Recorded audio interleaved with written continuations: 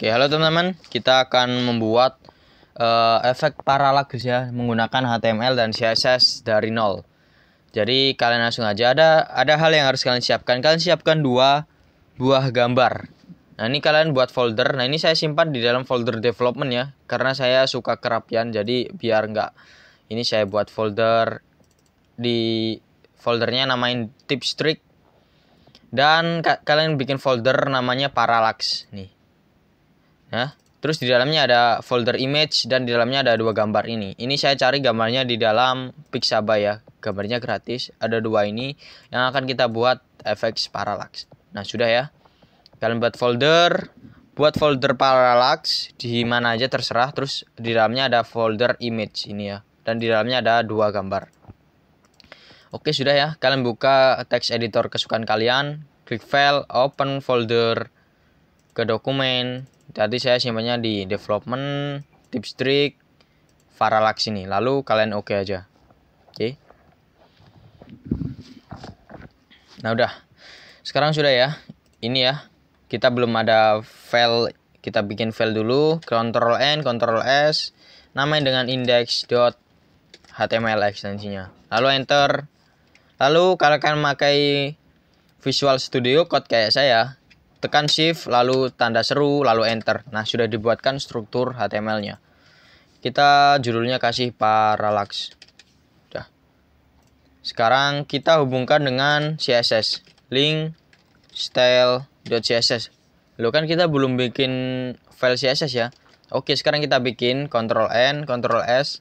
Kita namain dengan style.css sama kayak nama yang ini. Oke? Dah di dalam CSS kita uh, reset dulu dengan tanda bintang lalu paddingnya 0 marginnya juga 0 biar kiri set sudah ya? Sekarang kita buka aja parallax. Nah ini index.html nya kita buka open with Google Chrome. Terserah kalian mau pakai browser apa. Nah ini parallax ya. Kita masih kosong karena kita belum buat apa pun di sini. Oke di dalam body kita bungkus saja ya di dalam kontainer. Udah di dalamnya ada kelas lagi nih kelas yang namanya parallax. Sebenarnya kelasnya namanya apa saja ya sudah kita bikin dua ini. Nah kontainer ini kita buat untuk menghalangi bodinya ya kontainer. Bodinya kita bungkus dengan uh, dengan kelas kontainer. Nah kita kasih max width nya 100% biar dia fix ya. Height-nya kasih 2000 pixel biar ada scroll. Nah ini belum saya refresh. Ini nggak ada scrollnya ya. Kalau saya refresh nah ini ada scrollnya nih. Nah bisa ke bawah. Nah ini bisa ke bawah ya. Karena kita kasih height 2000 ini. Nah terus kita kasih kelas parallax. Yang tadi ya yang ada di HTML nya kelas parallax ini ya. Kita kasih background image ini URL arahkan ke gambar image. Saya mau pakai gunung Fuji aja deh. Lalu save lalu ke browser refresh. Nah ini belum muncul ya. Karena kita belum kasih height dan width nya ya. Parallax. Kita kasih height dan width nya ya. Di atas ini. Height nya 400 pixel untuk gambarnya. Terus uh, width nya widthnya 100% biar penuh ya.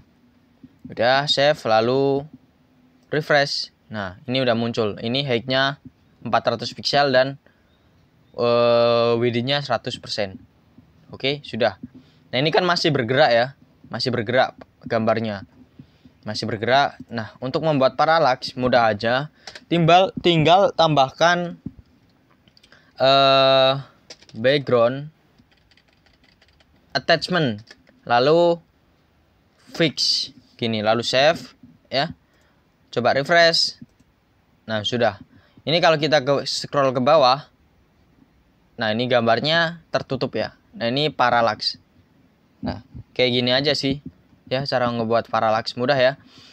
Atau kita bisa kasih lagi nih uh, kita kasih lagi aja coba ya. Kita kasih uh, kontak misal eh, jangan kontak about kelas about nah di dalam kelas about nih terus kita bikin lagi kelas uh, parallax kedua. Nah kita kan punya gambar dua ya. Udah kita bikin kelas about nah di dalamnya di bawah parallax ini kita bikin kelas about lalu height-nya uh, 300 pixel width-nya 100% kita kasih background color AAA biar abu-abu kalau kita refresh maka akan ada di bawah sini. Nah ini. Uh, belum ada ya. Ntar belum ada. Coba kita cek lagi apa yang salah. About. About. Udah. Udah ya. Hmm hmm hmm hmm oh salah ini background color harusnya color.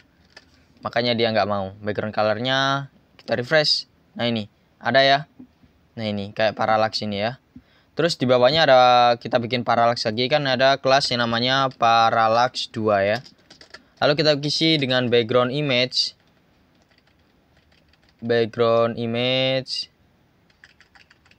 Ini. URL arahkan image ke dream kita kasih height height-nya 400 pixel width-nya 100% nah, ini sudah. Lalu kita kembali ke sini. Nah ini ada di bawahnya. Nah ini kan kembali lagi ya.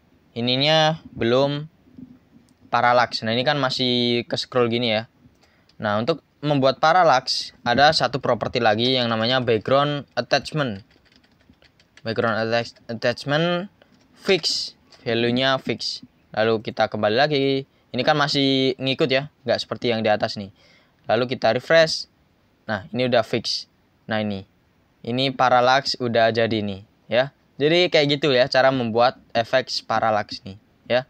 Kalian bisa kreasikan ini kan baru eh, nggak uh, ada kreasi sama sekali ya. Saya menunjukkan aja cara ngebuat parallax gimana.